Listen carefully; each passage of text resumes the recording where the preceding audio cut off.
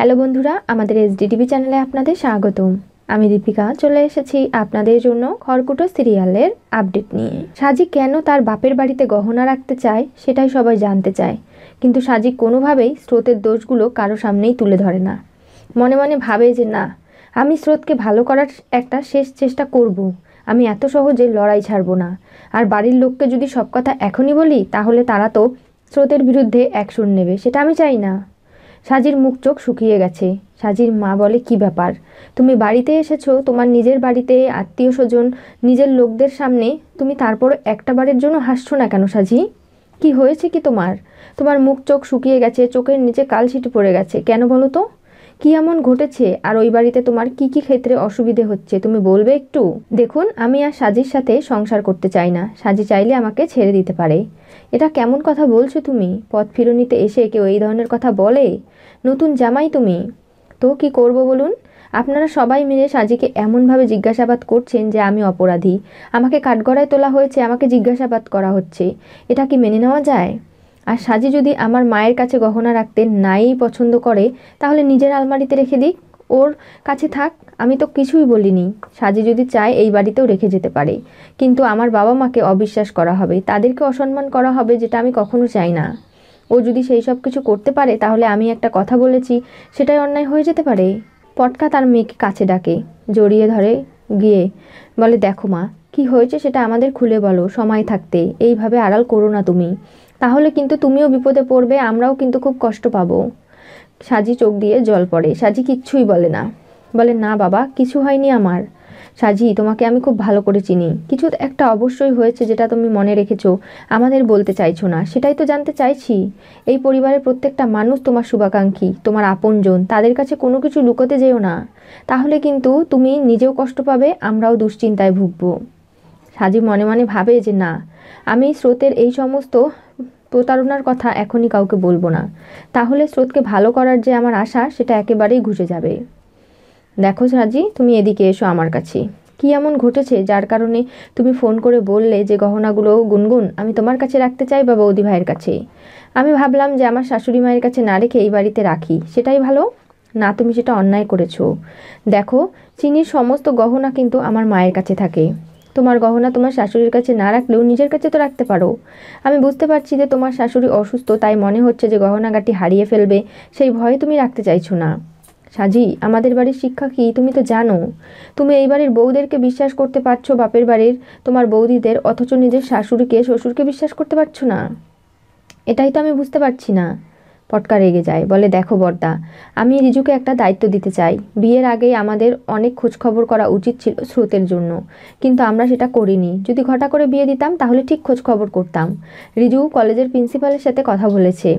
এতটুকুই মাত্র। আমি চাই রিজু এবার প্রিন্সিপালের সাথে গিয়ে সরাসরি দেখা করুক। স্রোত কোন সাবজেক্টে পড়ায়, কতদিন চাকরির বয়স, কী বৃত্তান্ত, সবটাই যেন স্রোতের বিরুদ্ধে জেনে আসে।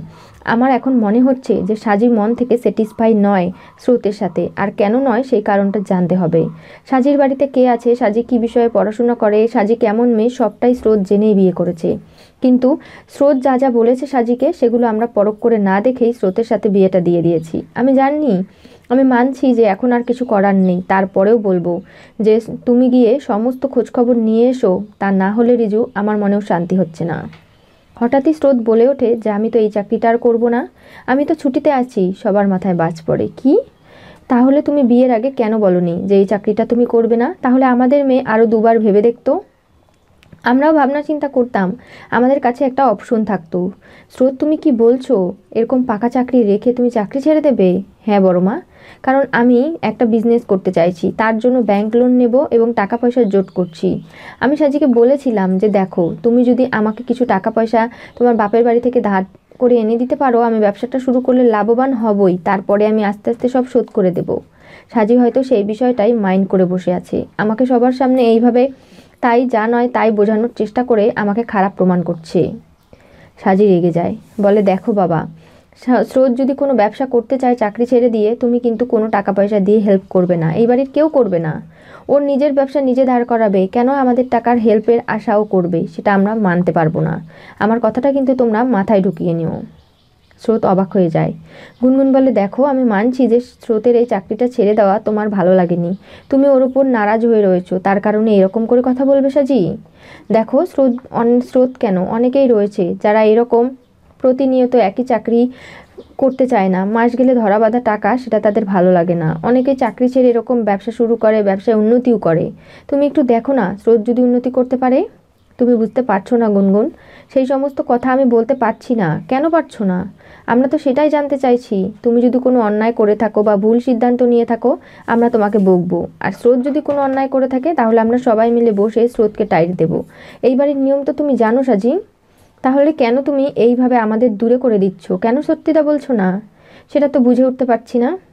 ওদের হঠাৎই এইভাবে ব্যবসা করার কথা বলে ওঠা যেটা পরিবারের কেউ মেনে নিতে পারে না। জ্যাঠাই বলে, বাদ দাও, এই সমস্ত আলোচনা পরে হবে। ওরা অনেকক্ষণই এসেছে, ওদের জোর খোলার ব্যবস্থা করো। বৌদি ভাই গুনগুন গিয়ে জোর খোলার সমস্ত আয়োজন করে। চিনি তো রয়েছে এদিকে সাজিকে হঠাৎই গুনগুন ঘরে নিয়ে যায়। মেজমার ঘরে নিয়ে গিয়ে জিজ্ঞাসা করে, সাজি, বলো তো তুমি এবার কি হয়েছে ওই বাড়িতে? তোমার অসুবিধাটা কোথায়? আমি জানতে চাই সাজি, তুমি আমাদের কাছ থেকে কোনো কিছু লুকোয় না। কই গুনগুন, আমি তো কিচ্ছু লুকোচ্ছি না, মিথ্যে কথা একদম বলবে না। তোমার গালে এই কালশিটের ডাকটা কিসের সাজি? এটা তো আগে ছিল না, তুমি সেটা মেকআপ করে ঢাকার অনেক চেষ্টা করেছ, কিন্তু পারোনি। তখনই চিনি বলে, কি বলছো কি গুনগুন? দেখি তোর গালে কোথায় কালশিটে হ্যাঁ সত্যি কথাই তো বলছে গুনগুন। সাজির মাও বলে হ্যাঁ এই কালশিটে তো আগে ছিল না সাজির গালে, এরকমটা কি করে হলো? সাজি, উত্তর দাও, কি হয়েছে বলো আমাদের? দেখো, আমি হয়তো বাথরুমে যাওয়ার সময় হোঁচট খেয়েছি বা পড়ে গিয়েছিলাম। তার কারণে এরকমটা হয়েছে। আর অন্য কিচ্ছু ঘটেনি। দেখো, তুমি আমার চোখকে ফাঁকি দিতে পারবে না সাজি। আমি তোমাকে খুব ভালো করে চিনি। তুমি আমার বন্ধু, তারপরে তোমার মানসিকতা কীরকম, এই বাড়িতে বিয়ের পর থেকে মিশছি, আগেও মিশেছি। তুমি মিথ্যে কথা বলে আড়াল করতে পারবে না বিষয়টাকে। যেহেতু আমার চোখে ধরা পড়েছে, তুমি সত্যিটা বলো। স্রোত কি তোমার গায়ে হাত তুলেছে? এরকম সাহস দেখানোর কথা নয়, কিন্তু তারপরেও যদি দেখায়, আমরা কিন্তু স্রোতকে সেরে কথা বলব না। ওর সাহস কি করে হয়? আমাদের বাড়ির সব থেকে প্রিয় মেয়েকে এইভাবে হেনস্থা করার? না গুনগুন, তোমরা যেটা ভাবছ সেটা ভুল। কেউ আমার গায়ে হাত তোলেনি, আমার শ্বশুর আমাকে খুব ভালোবাসে। শাশুড়ি এবং স্রোতও আমার এখন ভালোবাসা, দেখাশোনা করছে সব কিছুই তুমি এই সব কিছু ভুলভাল চিন্তা মাথায় এনো না। সাজি। তুমি কিন্তু বেশি বাড়াবাড়ি করছ। সাজিকে হাত টেনে গুনগুন সমস্তটা জানার চেষ্টা করে। বলে, দেখো, তুমি সত্যিটা বলো। যেটা জানলে আমাদেরও মনটা শান্তি হবে। আমি জানি কিছু একটা ঘটনা ঘটেছে যেটা তুমি আড়াল করার চেষ্টা করছ। আর সেই আড়ালটা থাকবে না। কেন? তোমাকে কি ওই বাড়িতে ঠিক করে খাবার খেতে দেয় না? তোমার ওপর কি ওরা অত্যাচার করছে? সেই সব কিছু তুমি বলো। এইভাবে চুপ করে থাকলে আমাদের মনে অনেক প্রশ্ন জাগবে। যেগুলোর উত্তর খুঁজে না পেলে আমাদেরও শান্তি লাগবে না। তোমারও খুব কষ্ট হচ্ছে, আমি জানি সত্যিটা না বলতে পেরে। বলো না সাজি, কি হয়েছে? এদিকে দাদাভাই এবং রূপাঞ্জন স্রোতকে ডেকে বলে, দেখো, আমাদের সাজি যদি অন্যায় করে, তাহলে বাড়ির লোক ওকে কখনো সাপোর্ট করবে না। তুমি একদম ঘাবড়ে যেও না, আর এরকম এমন কোনো কথা বলো না আমাদের পরিবারের মানুষের যাতে কষ্ট হয়। এখন বিয়েটা করে নিয়েছো, মানিয়ে গুছিয়ে তোমাদের চলতে হবে। একে অপরের সাথে অ্যাডজাস্টমেন্ট করতে হবে। সেটা নিশ্চয়ই বুঝতে পারছ তুমি, স্রোত? তাই বলছি যে, আমার বোনটাকে ভালো রাখার দায়িত্ব কিন্তু তোমারই। সেটার দিকে তোমাকেই নজর রাখতে হবে। গুনগুনের চোখকে ফাঁকি দেওয়া এতটাও সহজ নয়। স্রোতকে নিচে রেখে গুনগুন সাজিকে ওপরে নিয়ে গেছে। কোনোভাবেই গুনগুন সাজির কাছ থেকে কথাগুলো বের করে নেওয়ার চেষ্টা তো করেই যাচ্ছে, কিন্তু সাজি মুখ খুলছে না। স্রোতের ভয়ে যে স্রোত যদি সবটা জানিয়ে দেওয়ার কথা জানতে পারে, তখন কি করবে? পরিবারের মানুষ এখন রয়েছে, সাজিকে স্রোতের সাথে ওই বাড়িতে গিয়েই থাকতে হবে। এই সব কিছু ভেবে সাজি কষ্টও পাচ্ছে, কিন্তু বলতেও পারছে না। গুনগুনের যেহেতু সন্দেহ হয়েছে, সমস্ত সন্দেহের সমাধান গুনগুন না করে থামবে না। কারণ গুনগুন সাজিকে খুব ভালোবাসে। এই পরিবারের কোনো সদস্যের কোনো ক্ষতি হবে, সেটা সে মানতে পারবে না, সাজিকে স্পষ্ট জানিয়ে দিয়েছে। কি হতে চলেছে খড়কুটো সিরিয়ালের পরবর্তী টুইস্টে সাজির গালে কালশিটের দাগ। গুনগুন ধরে ফেলল। গুনগুন স্রোত সাজিকে ছাড়বে সাপ জানালো। স্রোত যেরকম আচার ব্যবহার করছে মিষ্টি কথায়, কিন্তু স্রোত নিজের ফাঁদে নিজেই পড়ে গেল। পটকা তার মেয়ের মুখের দিকে তাকিয়ে এবার সমস্ত খোঁজখবর নেবে স্রোতের জন্য। স্রোত অবাক হয়ে যায়, বলে, আমি তো ছুটিতে রয়েছি, যেদিন তুমি জয়েন করবে সেদিনই যাওয়া হবে। আর দেখুন, আপনারা বিয়ের আগেও তো এই খোঁজখবরগুলো নিতে পারতেন, এখন বিয়ের পরে কেন? আমাকে অপমান করার জন্য, না?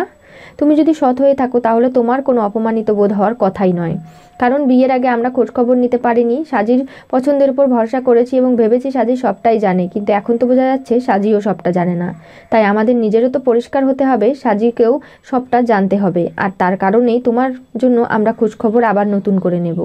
বিয়ে হয়েছে তো কি হয়েছে? তারপরে কি খোঁজ নেওয়া যায় না? স্রোতের গলা শুকিয়ে যাচ্ছে। এদিকে সাজিকে বারবার করে চাপাচাপি করছে গুনগুন। সত্যিটা জানার জন্য গালে কালশিটের দাগ কি করে পড়ল? সাজি কি সত্যিই সত্যিটা বলে দেবে? স্রোত যে চর মেরেছিল, সাজিকে মেরেছে, গায়ে হাত তুলেছে, সেই সব কিছু জানার পরে এবার কি করবে গুনগুন? সেসব জানতে হলে অবশ্যই করে আপনাদের চোখ রাখতে হবে আমাদের চ্যানেলে এবং নতুন নতুন আপকামিং টুইস্ট পেতে আমাদের চ্যানেলটিকে অবশ্যই করে সাবস্ক্রাইব করুন, লাইক, শেয়ার, কমেন্ট করতে ভুলবেন না এবং পাশে থাকা বেল বাটনটি অবশ্যই করে ক্লিক করুন।